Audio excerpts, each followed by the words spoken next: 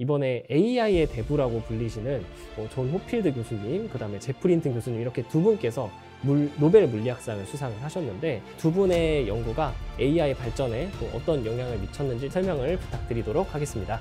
호필드 교수님은 1982년 인공신경망으로 기억과 연산이 가능한 호필드 네트워크를 창안하셨습니다. 네트워크가 약간 불완전하거나 왜곡된 패턴을 봤더라도 이 패턴과 가장 유사한 패턴을 찾아낼 수 있는 그러한 네트워크인데요. 네. 호필드 네트워크는 뉴런들이 물리학의 스핀 시스템처럼 에너지를 갖고 각 뉴런 사이의 연결을 조정하여 저장된 이미지 혹은 단어가 가장 낮은 에너지를 갖도록 하는 네트워크입니다. 오, 네. 그리고 힌튼 교수님은 통계학 물, 통계 물리학이라는 분야를 활용하여 아, 호필드 네트워크의 기능을 확장시키신 분인데요. 이렇게 확장된 모델을 관련 이론을 창안하신 물리학자 볼츠만의 이름을 따서 또 볼츠만 이- 머신이라고 또 이름을 붙이셨습니다. 아, 네네. 볼츠만 머신은 지시가 아닌 예시를 통해서 학습을 할 수 있게 되었고 네. 이전에 본 적이 없는 정보에서도 익숙한 특징을 인식하는 것이 가능하게 되었습니다. 아, 볼츠만 머신도 전혀 새로운 예시가 들어와도 이를 인식할 수 있는 기능을 갖고 있습니다. 이처럼 물리학의 여러 이론들이 적용되어 호필드 네트워크와 볼츠만 머신이 만들어질 수 있었고요. 어, 그래서 이두 교수님께서 이번에 노벨 물리학상을 수상할 수 있 으셨다고 생각합니다. 시청자 여러분 안녕하세요. 요즘 것이 궁금한 요즘 과학 뉴스, 요즘 과학의 진행을 맡은 요즘 것 강주환입니다. AI는 신약 개발, 기후, 금융, 엔터테인먼트 등 정말 다양한 분야에서 엄청난 영향력을 보이고 있어서 일상생활에서 AI를 만날 일이 많아지고 있죠. AI 열풍이 불고 있는 현재 모습처럼 올해 발표된 노벨상에도 AI 열풍이 불었습니다. AI의 영향력과 앞으로의 잠재력이 높은 평가를 받으면서 노벨 물리학상에 이어 노벨 화학상까지 AI 분야 연구자들이 수상하게 되었는데요. 천체 물리, 입자 물리 같은 전통적인 물리학을 연구한 연구자들이 받아온 노벨 물리학상을 이번에 AI 분야 연구자가 수상하게 되면서 과학계에서도 큰 반향을 일으키고 있다고 합니다. 2024년 올해 노벨 물리학상 수상자와 그 업적에 대해 소개해 주실 분은요. 서울대학교 AI 연구원의 이준기 박사님입니다. 박사님, 안녕하세요. 안녕하세요. 먼저 이렇게 외부 전문가를 저희가 초빙을 하게 되면은 드리는 공식 질문이 있는데 어, AI에서도 굉장히 다양한 연구 분야가 있는 걸로 제가 네. 알고 있습니다. 박사님께서 어떤 연구를 하고 계신지 시청자분들께 소개 부탁드리도록 하겠습니다. 안녕하세요. 저는 서울대학교 AI 연구원에서 연구교수를 하고 있는 이준기입니다. 어, AI 연구원은 2023년부터 한국연구재단 대학중점연구소 사업의 지원을 받아서 체화 인공지능 연구소를 개소하였습니다. 저는 이 프로젝트에 합류하여 연구를 하고 있습니다. 현재 챗GPT와 같은 거대 언어 모델, 비전 언어 모델은 인터넷에 있는 문서와 이미지를 통해 학습하는 모델입니다. 체화 인공지능은 여기에서 한 단계 발전하여 실생활에서 직접 물리적 접촉을 통해 습득하는 데이터를 음. 토대로 지능을 학습하는 새로운 인공지능 패러다임인데요. 예를 들어 빨간 모자를 갖다 줘 라는 명령을 인간이 할 때 언어 명령과 빨간 모자를 보고 있는 비전 정보를 통합해서 이를 로봇 팔을 움직여 빨간 모자를 짚는 행동과 음, 연관지어서 학습하게 됩니다. 네. 이러한 학습 데이터가 아주 많이 모이면 다양한 인간의 명령을 수행할 수 있는 로봇 비전 언어 행동 모델이 만들어질 수 있습니다. 저는 특별히 모방 학습과 강화 학습 방법을 이용해서 로봇 행동을 학습하는 연구를 하고 있고 이러한 행동을 할 때 로봇이 인간에게 설명 가능하도록 하는 XAI 연구도 함께 진행하고 있습니다. 얘기를 들어보니까 박사님께서 이제 로봇과 AI가 융합되어 있는 연구를 좀 진행을 하고 계신 것 같아요. 어, AI의 문제점 중 하나가 이제 어떤 과정을 통해서 이렇게 결론이 도출됐는지 모르는 이제 블랙박스 현상이 있다는 것도 문제점 중에 하나인데 어, 이렇게 결론을 도출하는 과정을 설명할 수 있는 연구도 한다는 게 좀 굉장히 흥미로웠고 네, XAI라는 게 어떤 연구인지 조금 더 부가 설명을 좀 부탁드리고 싶어요. 저 XAI는 이제 인공지능을 설명하기 위한 노력인데요. 아까 말씀하셨듯이 사실 대부분의 인공지능 모델은 현재 좀 블랙박스와 같습니다. 안에 어떻게 동작하는지 잘 모르는데요. 네네. 어, 그렇기 때문에 이제 인간이 이해할 수 있는 그러한 형태로 이제 모델을 학습하는 그래서 모델을 좀 변형해서 기존에 어, 인간이 전혀 이해할 수 없는 숫자로만 되어 있는 모델을 인간이 이해할 수 있는 단위로 쪼개서 학습하는 방법이 하나 있고요. 네. 어, 그 다음에 또 블랙박스인 상태로 그대로 둔 채 이제 인간이 이해할 수 있게 입력을 다양하게 변형시켜 가면서 음. 그 모델의 행동을 예측할 수 있는 연구를 하는 연구도 같이 하고 있습니다. XAI에 대해서 설명을 굉장히 잘 해주신 것 같고 저도 이제 새롭게 들어보는 연구 분야여가지고 굉장히 흥미로웠던 것 같아요. 어, 그러면은 이제 오늘의 주제인 노벨 물리학상으로 좀 돌아와서요. 이제 AI 분야 연구를 하고 계시는 연구자로서 이번에 어, AI 분야 연구자분들이 노벨 물리학상을 수상을 하셨는데 어, 이것을 좀 예상을 하셨는지 궁금합니다. 학술 정보회사 클래리베이트에서 매년 노벨상 수상자 후보를 발표하는데 네. 올해는 노벨 화학상 수상자로 구글 딥마인드의 CEO인 하사비스님과 존 점퍼 수석 연구원, 그 다음에 데이비드 베이커 교수님을 예측하고 정확하게 맞춘 것으로 들었습니다. 네. 어, 그렇기 때문에 이번에 학계에서 AI 분야에서 노벨상 수상자가 나올 수도 있겠다는 생각은 들었는데요. 어, 나올 수도 있다. 네. 예.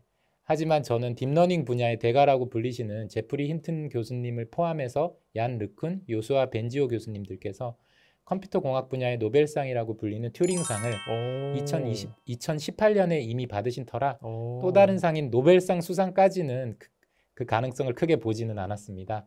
물론 구글 딥마인드의 알파폴드가 화학과 생물학계에 미친 영향이라던가 인공신경망에 기반을 둔 기계학습법의 발전이 과학 계 전반에 미친 영향을 생각해 볼 때는 수상 가능성이 해가 갈수록 더 높아지고 있었던 것 같습니다. 어, 이제 튜링상이라고 말씀을 해주셨는데 이제 사실 저도 처음 들어보는 상이거든요. 네. 이제 뭐 노벨상이라고 하면 이제 일반인 분들에게는 굉장히 익숙한 상이지만 이제 그 각 분야별로 세부적으로 보면은 이런 이게 또 권위 있는 상들이 또 별도로 있는 것 같아요. 네. 이제 뭐 시간이 지날수록 이제 수상 가능성은 높아졌겠지만 이렇게 좀 빨리 노벨상을 수상할 거라고는 예상을 못 하셨던 것 같아요. 이번에 AI의 대부라고 불리시는 뭐존 호필드 교수님, 그 다음에 제프린튼 교수님 이렇게 두 분께서 물, 노벨 물리학상을 수상을 하셨는데 어, 사실 얼핏 생각을 했을 때는 물리학과 AI가 무슨 연관관계지? 라는 생각이 들거든요.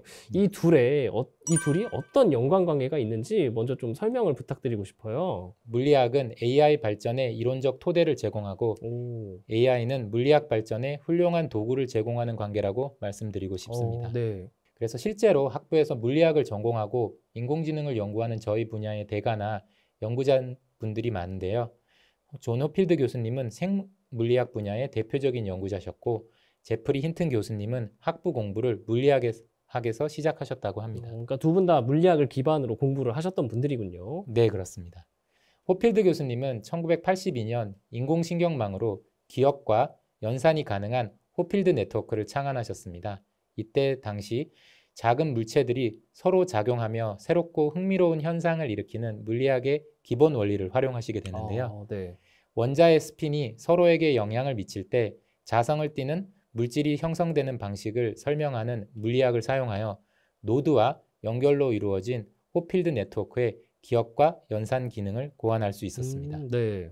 그리고 힌튼 교수님은 통계학 물, 통계 물리학이라는 분야를 활용하여 아, 호필드 네트워크의 기능을 확장시키신 분인데요. 네. 통계 물리학은 기체 속 분자와 같이 유사한 요소들로 구성된 시스템을 설명합니다. 그래서 기체 내 모든 분자들을 개별적으로 추적하는 것은 어렵거나 불가능하지만 이를 집합적으로 고려하여 압력이나 온도와 같은 기체의 전반적인 특성을 결정할 수 있게 되는데요. 이 원리를 차용하여 호필드 네트워크가 가지는 전체적인 특성을 설명하는데 활용하셨습니다. 오, 이렇게 확장된 모델을 관련 이론을 창안하신 물리학자 볼츠만의 이름을 따서 아, 또 볼츠만 이- 머신이라고 또 이름을 붙이셨습니다. 아, 네네. 이처럼 물리학의 여러 이론들이 적용되어 호필드 네트워크와 Boltzmann machine이 만들어질 수 있었고요. 어, 그래서 이 두 교수님께서 이번에 노벨 물리학상을 수상할 수 있 으셨다고 생각합니다. 이번에 노벨 물리학상을 수상하신 존 호필드 교수님과 제프리 힌튼 교수님의 연구 업적에 대해서 간단하게 설명을 해주시면서 물리학과 AI의 연관관계에 대해서 설명을 자세하게 잘 해주셨는데 어, 이제 내용이 좀 어렵다 보니까 이해하기가 쉽지는 않은 것 같아요. 어, 이제 두 분의 연구가 AI 발전에 또 어떤 영향을 미쳤는지 조금 더 자세하게 설명을 해주시면 좋을 것 같거든요. 이어서 조금 더 자세하게 설명을 부탁드리도록 하겠습니다. 네, 1980년대 물리학을 기반으로 인공신경망 학습 이론을 발전시키신 어, 존 호필드 교수님과 제프리 힌튼 교수님의 연구의 세부 내용과 인공지능 발전에 미쳤던 영향, 그리고 물리학 발전에 미쳤던 영향을 소개해 드리겠습니다. 그럼 존 호필드 교수님의 연상 기억을 이해하기 위해서는 평소에 잘 사용하지 않는 단어를 기억하려고 애쓰는 상황을 생각해 보실 수 있는데요. 어, 네네. 예, 햇빛을 가리기 위해 사용하는 물체를 기억한다고 생각해 보시면 음. 어, 기억을 더듬어서 우산이라는 단어를 떠올리고 네. 또 비슷한 단어를 찾다가 양산이라는 단어를 어, 그쵸, 생각할 그쵸. 수 있게 됩니다. 네네. 이, 이렇게 비슷한 단어를 떠올리다가 정답이 되는 단어를 떠올리는 과정을 연상 기억이라고 하는데요. 음. 호필드 네트워크에서 패턴을 저장하고 이를 재현하는 방법을 이런 연상 기억법 과 같은 방법으로 해결하였습니다. 네트워크가 약간 불완전하거나 왜곡된 패턴을 받더라도 이 패턴과 가장 유사한 패턴을 찾아낼 수 있는 그러한 네트워크인데요. 네. 호필드 네트워크는 뉴런들이 물리학의 스핀 시스템처럼 에너지를 갖고 각 뉴런 사이의 연결을 조정하여 저장된 이미지 혹은 단어가 가장 낮은 에너지를 갖도록 하는 네트워크입니다. 어, 네. 여기서 가장 낮은 에너지라는 의미를 조금 뒤에 다시 설명을 드릴 텐데요. 네. 이미지와 단어가 입력되었을 때 호필드 네트워크 내 뉴런 값을 바꿔가면서 네. 원본 이미지를 재현할 수 있게 하고 이러한 과정을 통해 가장 유사한 저장된 패턴 이미지를 찾게 할 수 있습니다. 음. 호필드 네트워크는 하나의 패턴이 아닌 여러, 여러 패턴도 동시에 저장할 수 있는 기능도 가지고 있는데요. 네. 호필드는 이 패턴, 이 패턴이 기억될 때 아까 말씀드린 대로 가장 낮은 에너지를 갖도록 저장되었다고 설명드렸는데요. 이 가장 낮은 에너지를 따라가며 유사한 패턴을 찾아내는 과정을 아. 호필드 교수님은 산봉우리와 골짜기가 있는 산맥에서 어, 내려가는 공에 비유했습니다. 특정 위치에서 공을 떨어뜨리게 하면 가장 가까운 골짜기에 가서 공이 멈추듯이 저장된 패턴과 유사한 패턴이 입력이 되면 에너지 지형에서 가장 가까운 골짜기를 따라 내려가게 됩니다. 어, 그러면은 호필드 네트워크라고 하는 것은 이제 패턴을 찾아가는 과정이다. 라고 이해를 해도 될까요? 네, 맞습니다. 예. 그래서 가장 가까운 골짜기를 따라 내려가도록 이제 음. 그 네트워크 내에 값을 바꿔가면서 최종적으로 기억 속에서 가장 가까운 패턴, 에너지가 가장 낮은 패턴을 찾아내게 되는 과정이 호필드 네트워크의 음. 어, 패턴 기억 과정입니다. 네네. 어, 근데 지금까지 설명드린 이미지를 기억하는 것은 하나의 중요한 과정이긴 한데요. 이 이미지가 의미하는 바를 해석하는 것은 또또 다른 과정입니다. 네. 예를 들어 어, 지금까지 설명드린 것은 우리 집 강아지 사진과 다른 사진 속 강아지가 얼마나 서로 비슷한지를 비교하는 과정이고요. 그것이 연과, 연상 기억 과정으로 설명드렸지만 네. 이 이미지가 고양이인지 혹은 강아지인지를 판별하는 것은 또 다른 방법이 필요합니다. 제프리 힌튼 교수님이 설명해 주신 방법은 통계 물리학이라는 과정으로 설명할 수 있는데요. 마치 여러 분자가 모여 있는 가스를 압력과 같은 하나의 상태로 나타내듯이 제프리 힌튼 교수님은 통계 물리학의 이론을 활용해서 여러 개의 뉴런으로 이루어진 하나의 인공신경망에서 각 상태가 발생할 확률을 계산하는 방식을 개발했습니다. 오. 19세기 물리학자 루트비 볼츠만의 방정식으로 설명되는 가용 에너지 양에 따라 어, 각 상태의 확률이 결정되는 어, 방식을 사용했는데요.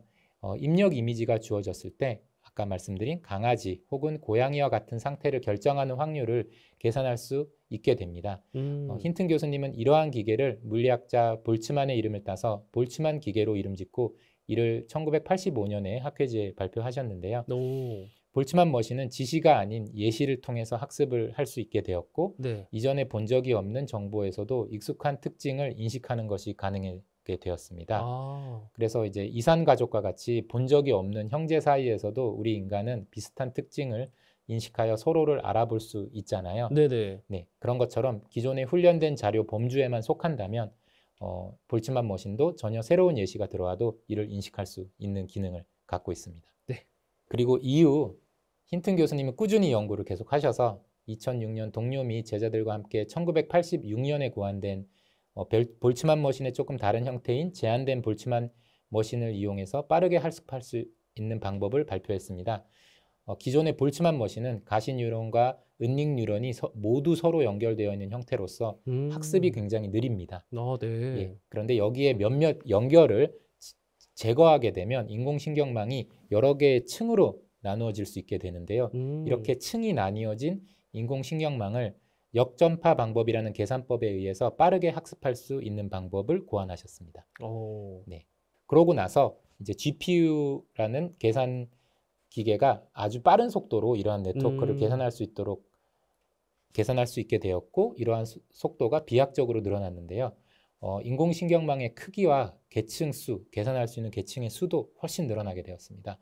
그래서 이렇게 많은 수의 뉴런과 계층을 학습할 수 있는 인공신경망을 deep neural network, 음. 그 다음에 이를 학습하는 방법을 딥러닝이라고 부르게 되었습니다. 그러니까 딥러닝의 발전에는 또 GPU의 발전이 또 밑에 기반으로 깔려 있었던 거군요. 네, 그렇습니다. 예. 제프리 힌튼 교수님의 어, 제한된 Boltzmann machine도 이러한 딥러닝 발전에 또 큰 기여를 할 수 있었습니다. 두 분 교수님께서 이렇게 물리학의 원리를 이용하여 딥러닝 방법을 개발하는 데 큰 공헌을 하셨고 그래서 어, 물리학에서 썬의 힉스 입자 연구, 페르미 연구소에서 진행된 쿼크 연구, 그 다음에 블랙홀을 촬영한 사건의 지평선 만원경이 이미지를 데이터 처리할 때 활용할 수 있게 되었고요. 그래서 이 물리학 분야 전체를 발전시키는데도 인공지능, 인공신경망이 굉장히 큰 공헌을 했습니다.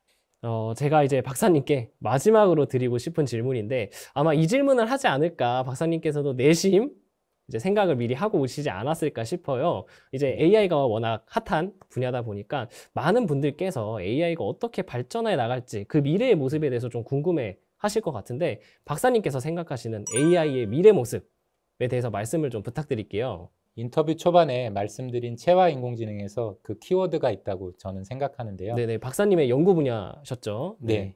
사실 지금의 초거대 인공지능은 현재 인류에게 주어진 대부분의 문서와 이미지를 흡수해서 학습을 하고 있고 음. 이미 했다고 해도 과언이 아닙니다. 아, 그렇군요. 음. 아무리 앞으로 그렇기 때문에 더 이상 무슨 데이터로 더 학습해야 할지도 큰 화두이기도 한데요. 어, 네. 그래서 이, 이제 인공지능은 컴퓨터 속이 아닌 밖으로 나올 것 같습니다. 어, 밖으로 실수- 나온다고 하시면 어떤 네. 어, 실세계에서 실제로 사람과 상호작용하면서 스스로 학습 데이터를 수집하는 아, 단계로 나아가는 건데요. 이제 사람과 같이 생활하면서 네. 저랑 같이 생활하면서 이제 실생활에 대한 데이터를 습득한다. 네네. 오, 그렇군요. 네, 그래서 어, 지금은 아직 공장에만 존재하지만 세상 밖으로 나오지 않은 로봇들이 네. 이제 큰 역할을 데이터를 수집하는 큰 역할을 하게 될 것으로 기대하고 있습니다. 네.